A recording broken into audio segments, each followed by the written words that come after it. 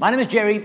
I'm from Wild Eye, and this is episode 10. Yes, we've reached episode 10 of our video series in which we answer your wildlife photography questions. Now, it's been quite a while. The last while has been rather, let's call it interesting for me.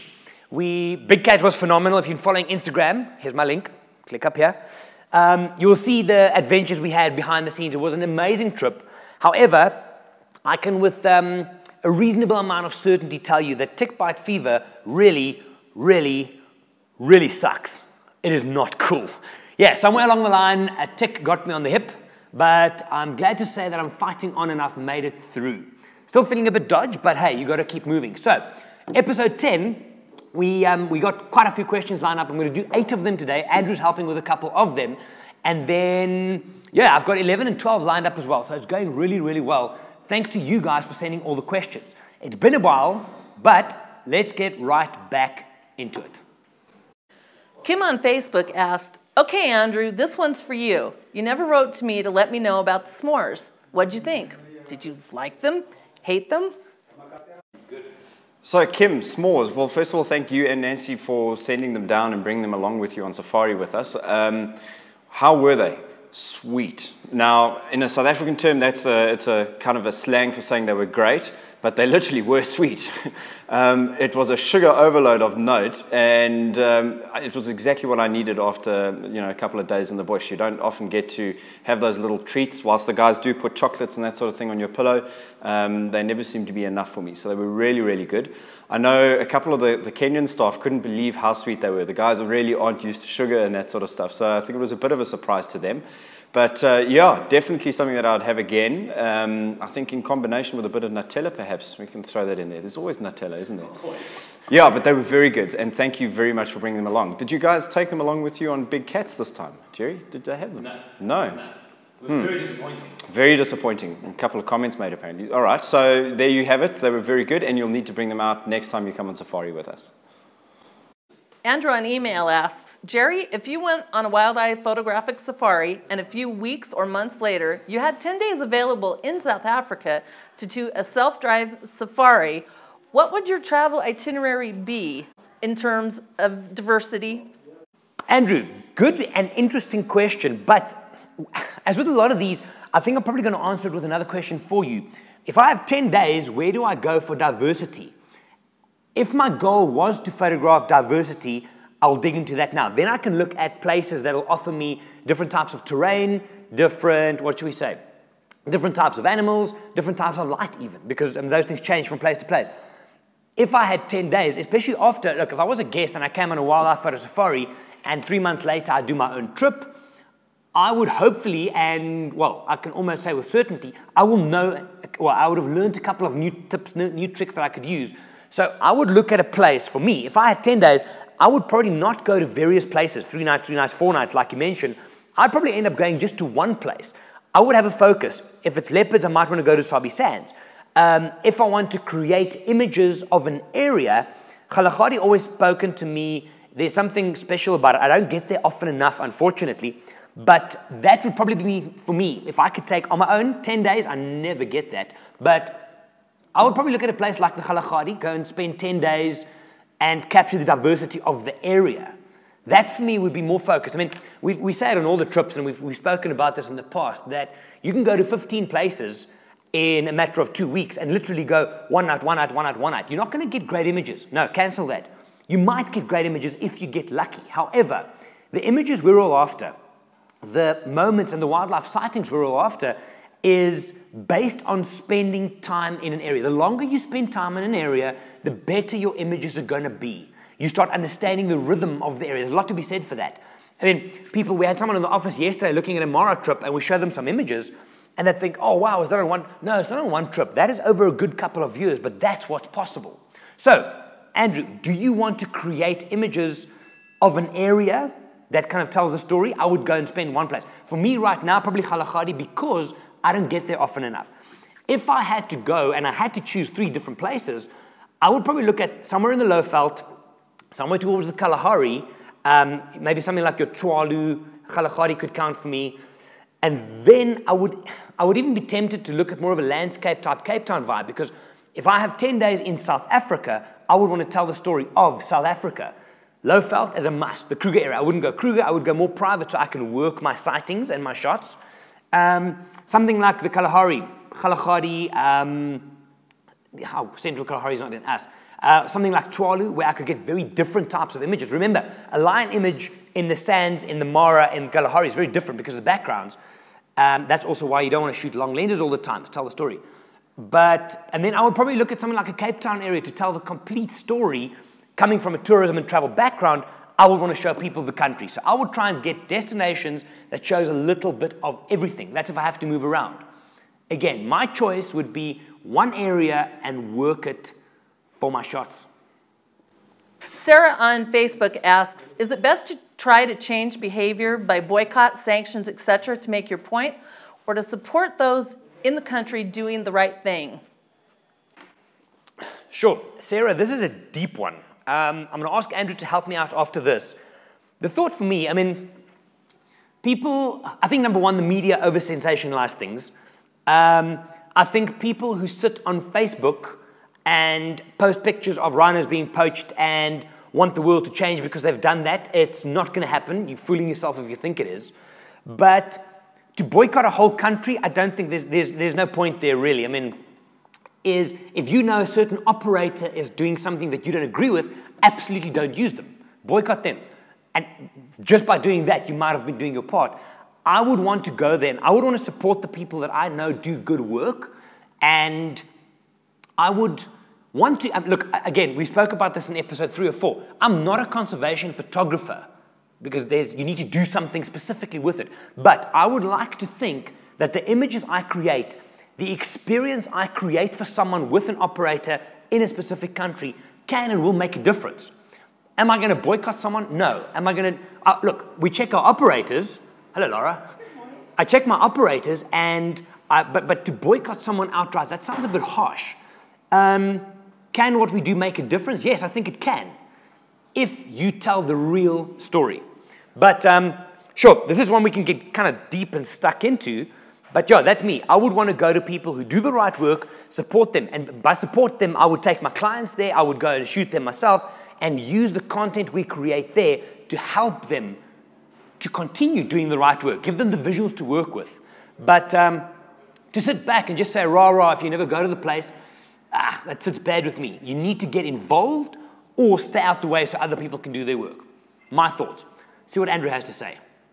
Sarah, this is a, as you mentioned, quite a complex question. Um, my personal thoughts on it, and you, you've kind of gone on the right track in terms of supporting operators and people that are doing the right things. And you mentioned that you perhaps then condone that sort of behavior by visiting the country, and I, I don't necessarily agree with that. Um, I think by supporting the operators that are doing the, the right thing, you can hopefully instill a, a, bit of a movement of change whereby the people who don't necessarily um, toe the line when it comes to these things or operate outside of the rules and regulations or what is acceptable um, will actually then no longer be able to support themselves because they are not getting the traffic and the business from um, uh, the, the operators that are, are, are, actually doing things the right way. I think if you were to look at it on a bigger picture and start to look at it and say, right, which countries, and wildlife aside, um, you know, in terms of cultural practices, political practices, all sorts of things. If you were to start to look at all the negative things in the world and what goes wrong, where would you end up being able to travel without kind of theoretically then supporting any of those um, practices? So, you know, Africa is a complex place. There's a lot of culture, there's a lot of history, there's um, so many different things at play here. And it's often, you know, the information that is put out on things like social media or the media in general is often quite sensationalist. And, you know, there's no shortage of um, campaigns to sign up and stop this and do that. But in, in essence, it's all slacktivism and it actually has no real impact um, for the vast majority of, of those kind of campaigns. But I think, you know, if, you, if it's something that's very close to your heart and that you're passionate about and you really want to understand, I think you've got to do a fair amount of research to actually get a really good understanding of what goes on on the ground. And often it's only a visit to that area to have a better understanding of what's happening that will be able to provide you with that information. So on a whole, you know, something like Zimbabwe, um, you know, do you boycott the destination completely? Look, some of the money might go into Uncle Bob's hands, but uh, I think, you know, there's a lot of good work being done out there by a lot of good people who are trying to make the change and trying to instill a movement of change. And the only way that they can actually make that um, is if it's supported by the global community. So to boycott a destination outright, I think, is a bit harsh. Um, you know, there's, there's a lot of subtleties in, in terms of what is actually going on on the ground and how to get around it. But I would say that we should be supporting the operators that are doing the right things um, and boycotting the operators that are not doing the right things and not using them. But to take it up to a country level, I think becomes quite difficult. Um, like I said, if you were to look at it in that way, you know, where in the world would you travel? Not many options left, I think, the way that uh, society behaves and, um, and with politics and that sort of stuff at the moment. So, yeah, that's my take on it. Caroline email asks, when one feels they are ready to go one step further than just put their pho photos on their Facebook page, how does one open their own photo page and where or how? Carol, this is a very, very good question and really something that I think a lot of people don't quite understand. In the beginning, when Facebook had just, just started off, you could only create a personal page. And a lot of us, myself included, I had Photo Africa back then, I, um, I used my personal profile to market the business, if you will, put out images, create content out there. But it was limited to 5,000 friends. Friends, yeah. Um, but now, with the, with the business pages, it's an absolute must. So, the, the short version, I'm going to just go off on a tangent in a second here. The short version is to create that page. You log into Facebook, at the top next to the search bar, click next to your, click on your profile, so it goes to your name, and then I'll put a screenshot in here for you now. Click on the little triangle at the top. A drop down will come down and you just hit create page. And then you just follow the steps all the way through. Now, the more important thing and the more interesting discussion, and it's funny none of you have asked this, is how do I use my Facebook page to create an awareness and to, um, and to get my work out there? Because here's the thing a lot of people putting out just wildlife images it doesn't take a rocket scientist to understand that just putting out images makes you look like everybody else. Scroll through Facebook, depending on who you're following, and you'll see lion image, lion image, leopard image. It's all the same. We get desensitized, number one.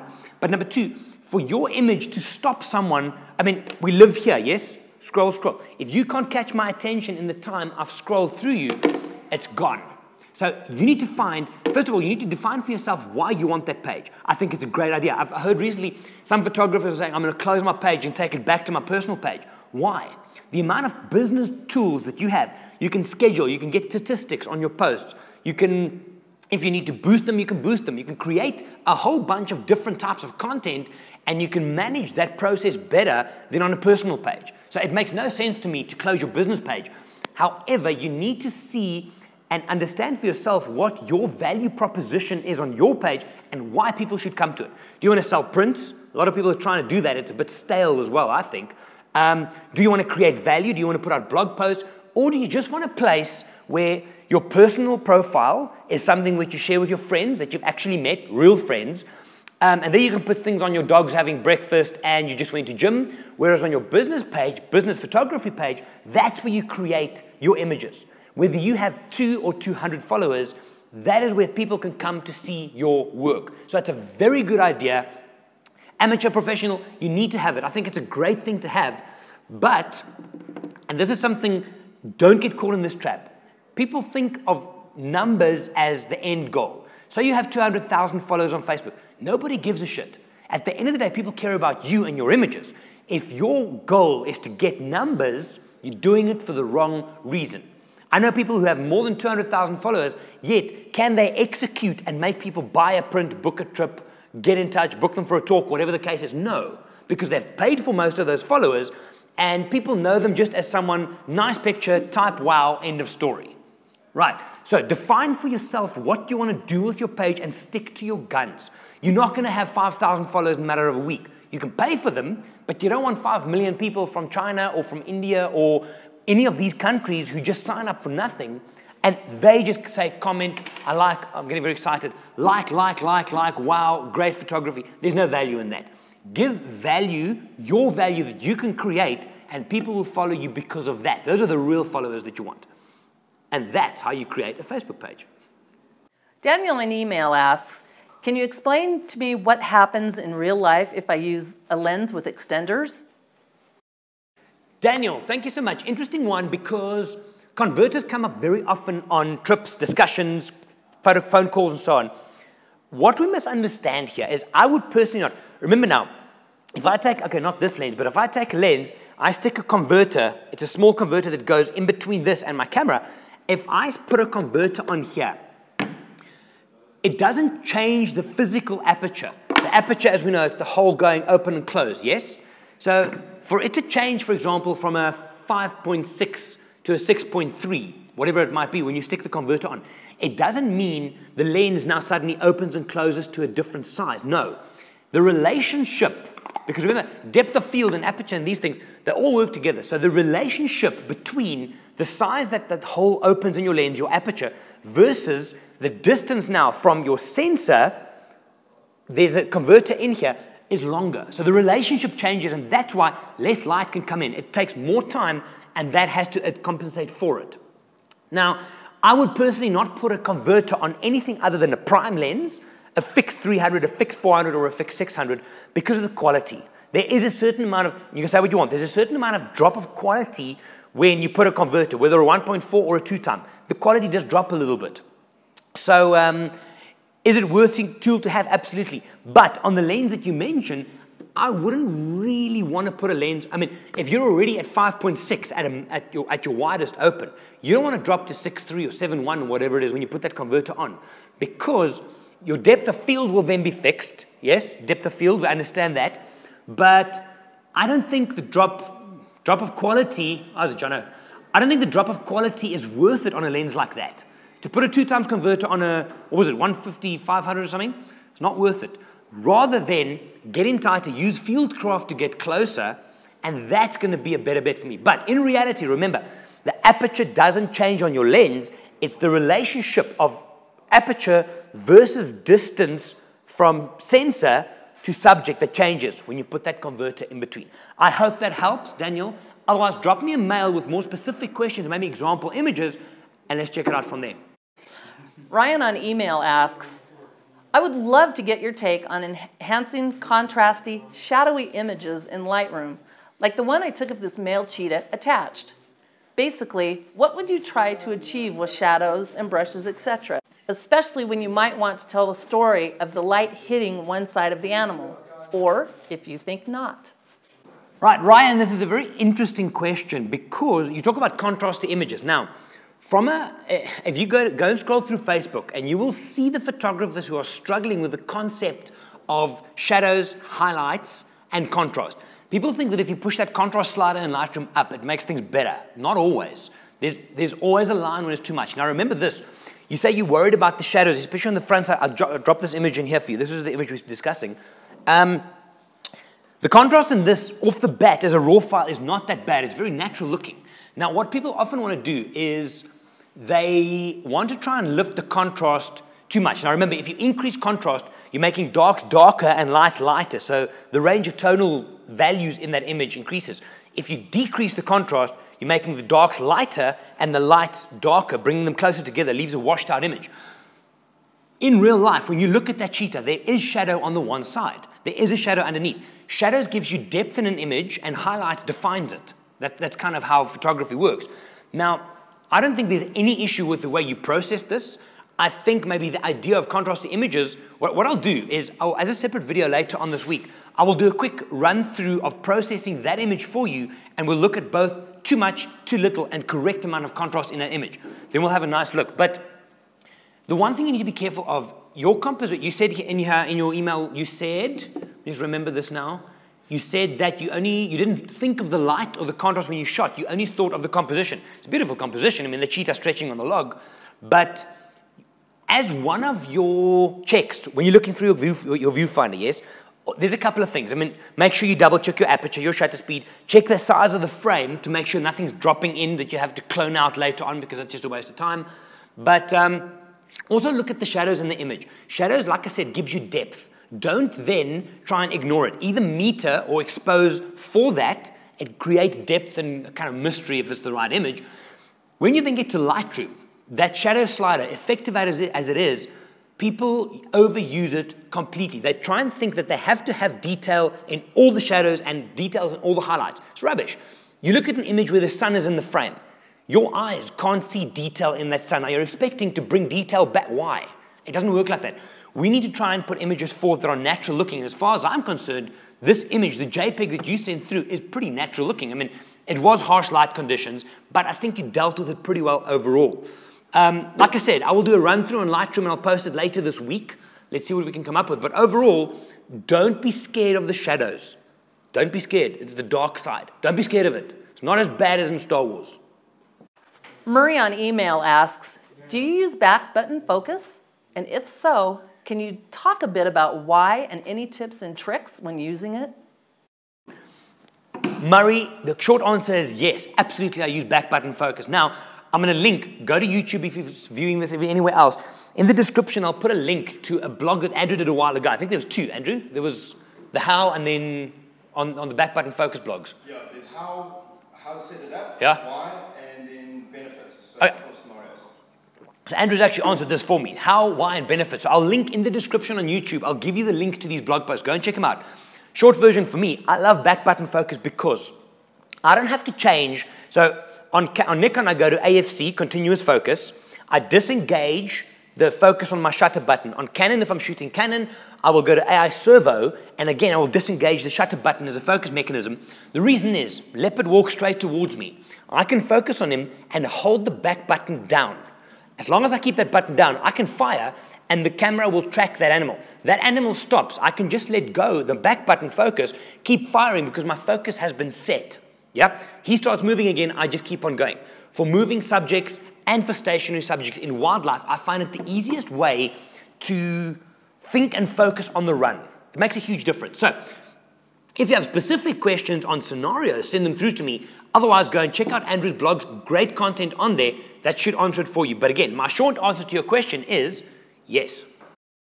Sarah on email asks Do you ever use auto ISO or do you always choose the ISO yourself? Sarah, this is an interesting one because I know a lot of people, especially on the new cameras, like you said, a lot of people choose to use auto ISO um, and buffer it. For example, you tell the camera don't go lower than 200 and don't go higher than, I don't know, 3200 or whatever the case is. I think there's actually a blog post. While I was away, I saw a blog post on that. Morkel posted a blog on this, so I'll, I'll add the link to that as well. I personally, look, maybe I'm old school, but I like the idea of controlling everything. I'm not a control freak, make no mistake. Well, sometimes. No, I'm not really.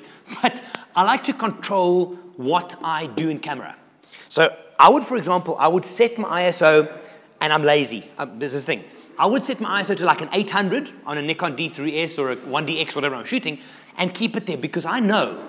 In a previous question I mentioned, I've got a certain checklist in my mind before I click that shutter.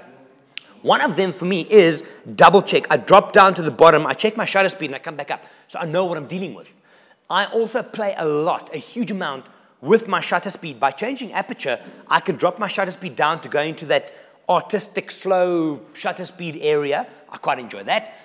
Um, so for me, I don't know. I, I just haven't really played with auto. I get it. I get why some people want to, might want to do that.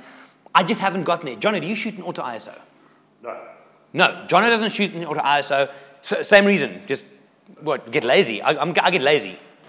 Well, I don't know. I just want to be able to control it more than Yeah. camera controlling it. I like to control it. There it is. So if you understand, I think, the relationship between aperture, shutter speed, and ISO, I want to set. Look, I mean, I can give you a graph. If you guys want a graph, let me know because you need to ask me more questions. There's an inverted U graph where your ISO starts high in the day if you're doing it manually. It comes down during the day and then it goes up as the light drops again. I'm comfortable working like that. And it gives me more of a sense of control. And do I mess it up from time to time? Absolutely, it happens. But I still, I don't like the idea of the camera doing it for me. Again, there's no right wrong, that's me. Go and check out Morkel's blog post. I must be honest, I've just come back, and like I said, I've been sick. I don't know what the hell's going on, but it's on the blog. But for me, I set my ISO. I will start high in the mornings as the light progresses. See, I'm comfortable leaving my cameras between 4 and 800 throughout the day. Some of you thinking, oh my God, you're going to get noise. No, I won't because noise hides in dark areas. In the day when there's lots of light, it's not really a problem. And with the noise reduction, understanding noise reduction, I can take it out pretty easily after the fact. So for me, Sarah, no. I do, I set my ISO because I check it all the time. It's like my matrix. Remember my photography matrix? Um, but auto, there's nothing wrong with it. Understand your tools. Either one can work. It's up to you. Read the blog. My answer is I choose to do it for myself. Right. That's it for this week. That is episode 10 in the bag. Now, um, the next episode is, come, is going to come exclusively off Instagram. I posted an image on my Instagram feed. I'll link it again for you over here. Um, go and check out the Instagram feed. I'm going to post it one more time. All the images are images. Well, Instagram images. You need to be on Instagram, by the way. It is a phenomenal platform, but know how to use it. Ask me the question. Um, I am, so you know, I've lost my chain of thought. I've had tick bite fever, that's why. Give me a moment. oh, the next questions for episode 11 will come exclusively off Instagram. I already have a five or six on the one post from a couple of weeks ago. And if you have any, I'm going to post one on my Instagram feed today. So go and pop into Instagram if you're there. Ask me more questions and let's dig even deeper. There's a lot of questions I'm quite surprised people haven't asked yet. Let's see if we can get to them. We'll give you more tips and ideas as we go along. Anyway, I'm in the office now. I was supposed to be in Madikwe now, but being a little bit fevery and stuff, um, I've been able to, um, Penny's taking my clients up there. So, yeah, I'm in the office for a good, what are we looking at here? Maybe four, five weeks now. So, lots of content coming your way, but I need more questions. So, again, tomorrow I'm going to do stuff straight off Instagram. Ask your questions there. I also want to do a specific Lightroom and post processing episode where I'm going to take about three or four images that you guys sent me and questions that you sent me and do a whole bunch of short tutorials to look at the post processing side of wildlife photography. There's a lot of questions you can ask. Send them through and I will keep on answering them for you. My name is Gerry. I'm from Wild Eye. I will see you next time.